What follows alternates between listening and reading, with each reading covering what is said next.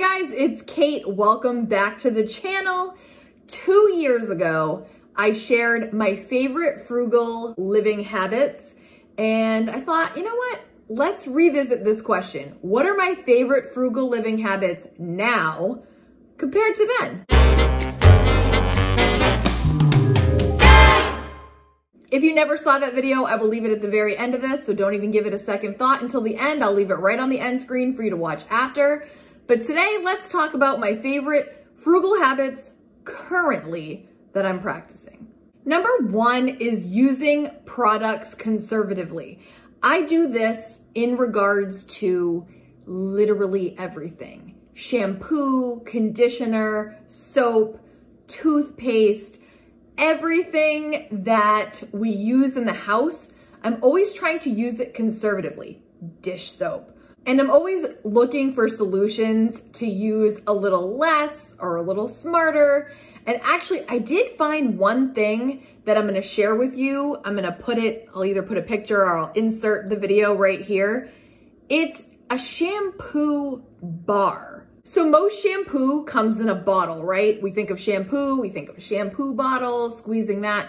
This is actually in a bar. Some of you might have seen this before, some of you haven't, but I personally had never used a shampoo bar and the pros of using this thing, first of all, the one that I picked smells amazing. If you like peppermint, it's super strong peppermint, which I quite enjoy. So that was one thing. The smell was fantastic. The second thing is it reduced waste because it's not a plastic bottle. It's actually a recyclable little box and you'll see in the video.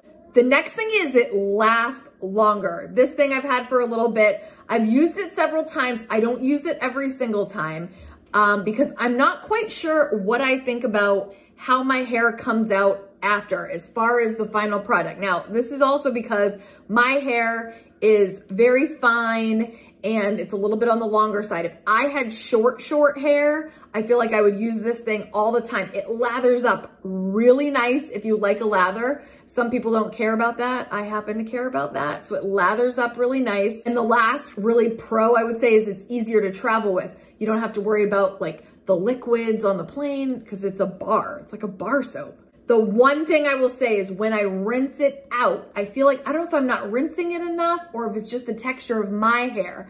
I feel like it makes it just a little, like a teeny greasy. So if you have really dry hair, maybe it would be fine. I'm not sure, but I really enjoy, like I said, the smell and the other benefits, and I haven't used it enough to be 100% sure. But if you've ever used a shampoo bar, can you guys let me know in the comments what kind did you get if you remember? I'll leave the link to mine in case you want to try it. I'm also trying to teach Caden how to be conservative with things, like just when he's in the shower, not just, he has one of those poofs and not just, you know, spraying it everywhere. But I also don't want to impose my weirdness on other people. Let me give you another example of my frugal weirdness. And this might not be weird at all, but I made some nachos the other night, which were fantastic nachos with cheese, sour cream, guacamole. Hello, right? Delicious. I got to the bottom of the bag and at the bottom of the bag, there were crumbs, obviously. Like sometimes at the end of your chip bag is like crumbs at the bottom. And I couldn't, most people would probably just take it and throw it out. I couldn't do it. For some reason in my mind, I'm like, okay, I can put these crumbs to good use. In the past, I have used them to make like a burrito bowl. I'll do like scrambled eggs, little sour cream cheese, and then I will take those crumbs and sprinkle them on top for that crunch that just really gives you some impact. And then the other night when I was making the nachos, I was like, well, I'm still kind of hungry because it was at the end of the bag. I didn't have as much as I normally would. So I just took the crumbs, put it in a bowl, stirred it up with some, the same stuff, the cheese, sour cream, and the guacamole. And I just had like a stir of it. And honestly, I don't know if that sounds weird, but it was delicious. It was almost the same thing, but not like the big chips. And so I'm just telling you, sometimes you got to creatively consume what you have to conserve your stuff and utilize it to its fullest. These are just That's just a small example, but it was delicious and I used every crumb. Next one is to eat your own food at home. You don't have to get fancy and cook. You can if you want to. You can make your own food, but using up your groceries instead of going out to eat saves me so much money. I just talked about this in a video a couple times ago, how I had not prepared and I went out and got lunch and it cost me so much money. Now, I told you in a video recently too, groceries are kind of expensive right now, but going out to eat is even higher. Which also brings me to something I just wanted to talk about with you guys as far as the food budget goes. I was sharing with you that my going out to eat budget is in my lifestyle budget. As you guys know, if, or if you don't know, I have savings, household, giving, and lifestyle. And a lot of you told me that you just put your going out to eat with your groceries because it's food. Now, everybody's got to do what they're comfortable with. And if that works for you, that's awesome. For me personally, I do not put the going out to eat budget with my groceries because the way I have aligned my budget is the household budget is the essentials and the lifestyle is a choice. Now, you can do your food however you want, of course, but for me personally, I don't need to go out to dinner. That's a lifestyle option you can choose, but it's totally not necessary to get by. So that's why I put that in my lifestyle. It's a choice, it's fun, it's on the complete optional side. The groceries that keep food in our bellies, that keep things running in the house. Those are the essentials for me. So that's why they're divided. And I just wanted to clarify that for you because some of you guys are like, food's food. What's the difference?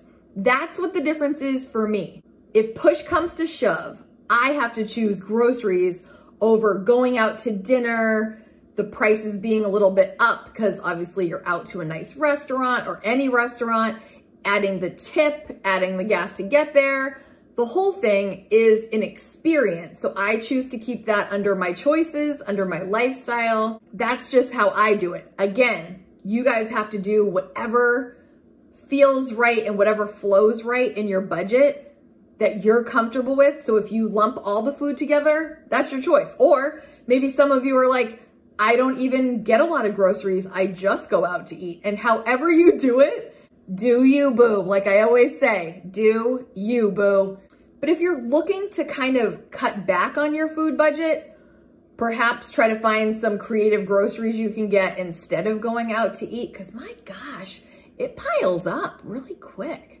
The next favorite frugal habit of mine is to have a part-time job or side hustle on top of your full-time job. I know this is organized very differently amongst families, and I have, if you guys have ever watched me, you know that I have almost always, always, always, always had a second job on top of my full-time job. Which could mean one of two things. One, I'm not finding the right job to just take care of it all in one fell swoop. But the other thing is I like to make more money if I have the time available or if I don't have the time available, how can I make this work so that I can, so that I can make this extra money? I still, I'm not even kidding, when I see help wanted signs, my eyes still go to them and I look and I see, hmm, I wonder what they're looking for over there. Is that something I could do? I swear, right now I am not looking for more work. I have a full-time job. My side hustles include YouTube. I, it's weird even calling it a side hustle, but it is. Mary Kay, and I, that's so part-time guys. That's just like, I have a few customers that come to me or you can order online, but it's what I use. So I'm like, why not sell it also? Cause it's my favorite. And then of course, choreography.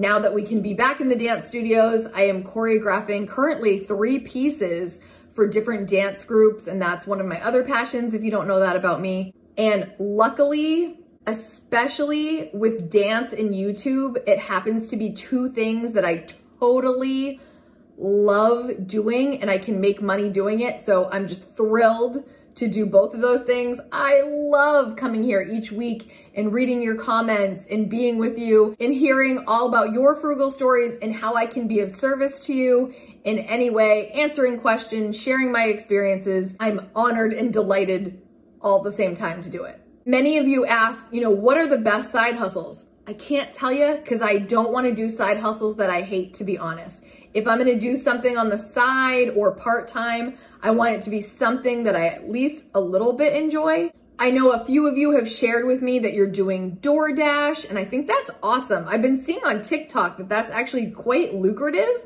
So I don't know if anyone has started doing that yet. Let me know in the comments if you've tried DoorDash. Is it worth it? Is it not?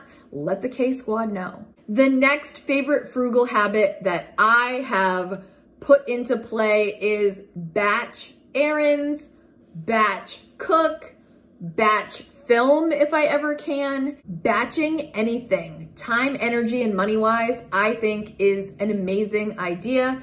And you will hear it from other productive people in this world that batching things is the way to go. I've told you if I go grocery shopping, I'm probably going to go get gas, go to the post office, everything while I'm out. I don't like, I, I almost will never be at the house and be like, oh, I need to go to the post office and just go to the post office. Or sitting at home on the couch with my feet propped up and be like, oh, I didn't go to the bank and leave the house on a day where I'm supposed to be home to go to the bank. No, no, no. You batch that. Batch it. I'm gonna put it on a t-shirt. Batch that. Batch that, K-Squad. Seriously, if you're making spaghetti, make extra spaghetti and then put it in Tupperware for the next day for your lunch. Batch cook. You YouTubers out there, my YouTubers that have channels, you might make a couple videos in one sitting if you can. It's a little bit challenging at first if you're not in the routine of doing it, but anything that you can do in a little sequence that makes sense, that is the same like-minded task, do it. Batch that. My next favorite frugal habit is no spend Sundays. This is a really popular one with you guys, so let's talk about it. No spend Sundays takes the pressure off my wallet and myself by just taking a day out of the week that I don't intend to spend. And it just, just, just as God intended for us to have a day of rest, I give my wallet a rest on Sundays. I try to plan around not spending on Sundays if at all possible. Like for example, grocery shopping, it would make a lot of sense for me to shop on Sunday, but honestly, I don't want to. Instead, now this might be a weird mentality. I haven't really expressed that this is how I think about it, but I'm gonna tell you right now, Mondays kind of suck, right? Like Mondays in general, nobody's like, yay, Monday. I don't know, maybe. Are you into Mondays?